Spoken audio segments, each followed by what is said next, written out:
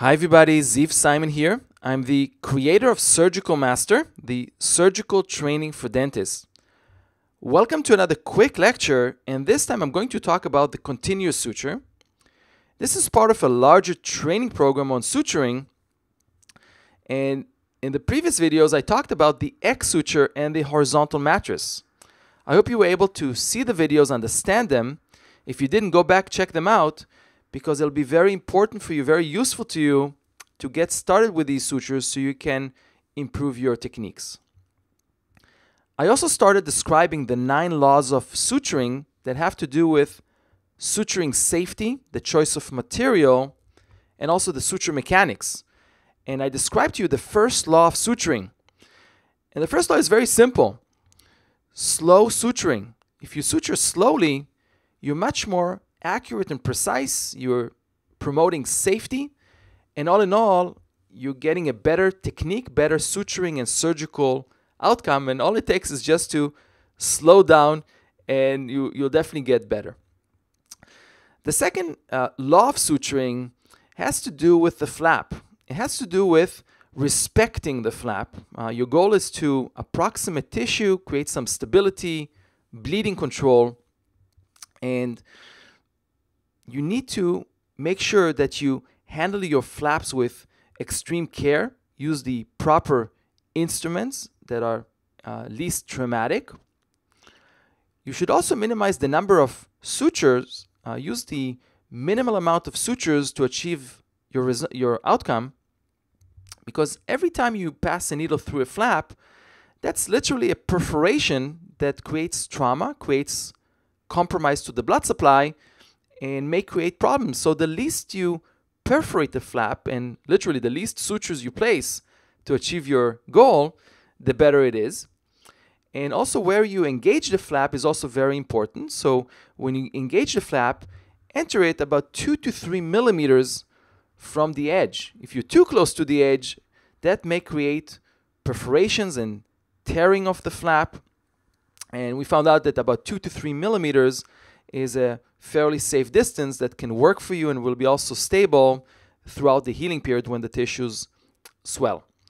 So it is important in order to respect the flaps, it's important to use instruments that are the least traumatic possible. So any instrument that has teeth that create trauma, uh, it could be one, two, or three teeth or more, uh, I would avoid them, especially for the procedures that I'm describing to you, because that will pretty much traumatize the flaps and will compromise your results. So choose your instruments carefully, ideally instruments with no teeth. They could be, could be lightly serrated, like cotton pliers, or they could be um, completely flat. Uh, but uh, they, they should do their job by holding the flap in place uh, with minimal trauma. Um, also, in regards to the number of sutures, use the least number of sutures to achieve your goal. Uh, and the goal is basically to minimize your bleeding, hemostasis, approximate the tissue, and create some stability. So, actually, when you suture, less suturing is better, less is more. And as long as you achieve your res results, your flaps are stable, there's no bleeding, and the tissue is well approximated, uh, you will get a good outcome with minimal trauma. And also in regards to the engagement into the flap, you need to be at a safe distance from the edge, and we're looking at about two to three millimeters. If you're a little bit too close, you may have perforations, you may have tearing of flaps, uh, it could be during the procedure or later on. And if you enter the, the flap about two to three millimeters from the edge, typically that would be a safe distance. So the second law of suturing is to respect your flap and handle them with care. Use least the least sutures uh, possible, and also focus on your entry and exit points. In the future videos, I'm going to talk about the third law of suturing has to do with safety and definitely describe all the other laws you have a good understanding um, of suturing and uh, all in all get you will get better at it uh, and get better better outcomes. In this video, I'm going to talk about the continuous suture that is a very useful suture when uh, you work on large flaps, it's also very time effective or efficient because it allows you to suture a large flap relatively quick and also using less material because you're placing less knots. Uh, however, uh, this type of suture has a few disadvantages, and the main disadvantage is that there's a risk that your sutures uh, and your knots will uh, loosen up and your flap will open, whether during the procedure or during the suturing or uh, later on during the healing period. So there's definitely some advantages and some disadvantages, uh, but it's a, it's a very important uh, suture to understand. So again, we have our straight incision line, we have our surgical compass on the upper left-hand side. We typically like to start suturing from distal to mesial in the mesial direction. It's more for visibility. And every uh, continuous suture starts with a simple interrupted suture. So in this case, I'm entering the distal buccal flap and exiting through the distal lingual. And at this point, what you're doing, you're creating a simple, interact, sim simple interrupted suture. Uh, once you tie the knot, uh, what you want to do when you uh, cut the suture is only to cut the short end. If you cut both, you just created a simple interrupted. So if you, uh, what you need to do and let your assistant know is to cut only the short end, and this way you create an anchoring suture. And the anchoring suture, the knot stability has to be uh, pretty much perfect because if your anchor is not stable, your whole suture uh, will not work, it'll, open up um, relatively quickly. So to uh, proceed with the continuous suture, uh, the next entry point is going to be through the mesiolingual, exiting through the mesiobuccal, and pulling the suture through. And then we continue the same pattern.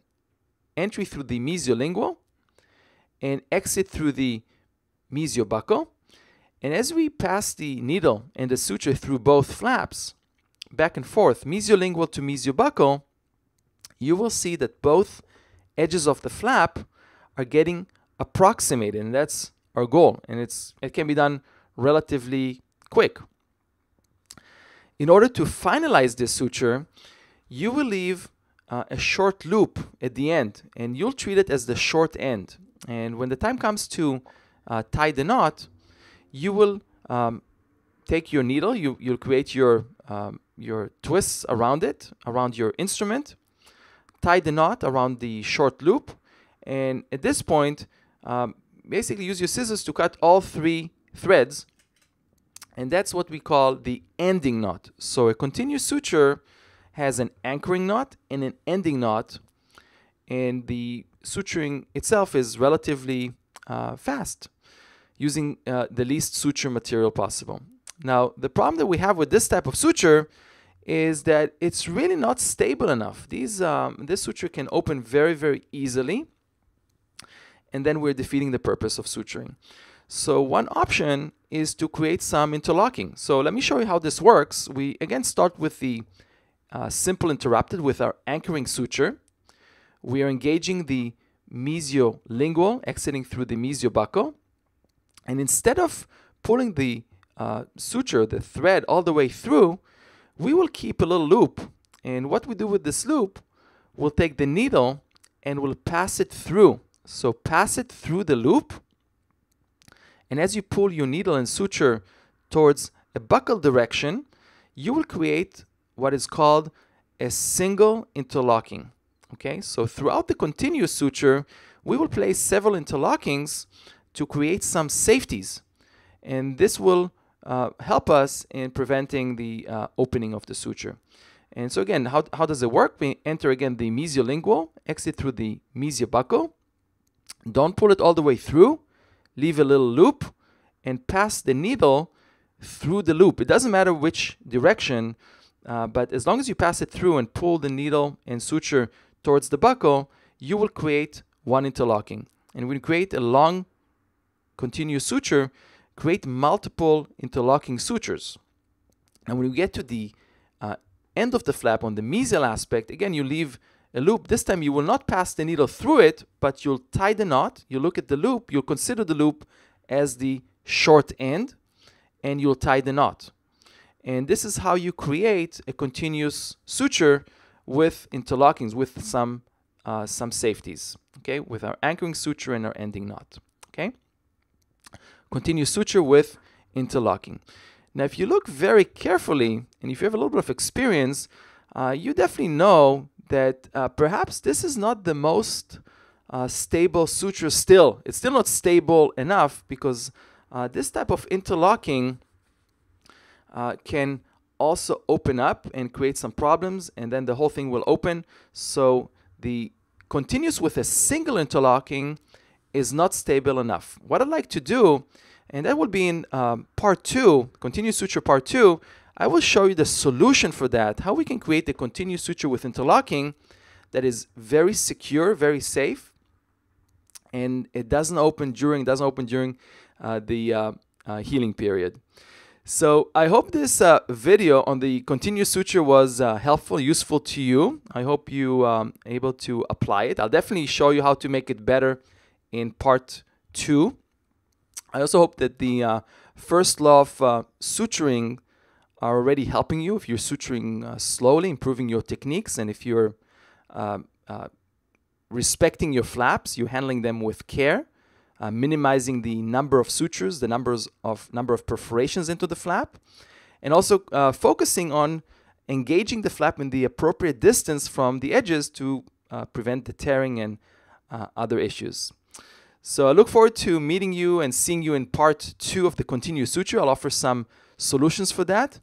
And also encourage you to visit me at the at my on my website uh, surgicalmaster.com, where you can opt in and add your name and email, and this way we can keep in touch and we can, I can send you my weekly blogs and videos, and we can interact and get better about what we do. So I really look forward to seeing you and working with you in the future, and I'll see you in part two of the continuous suture.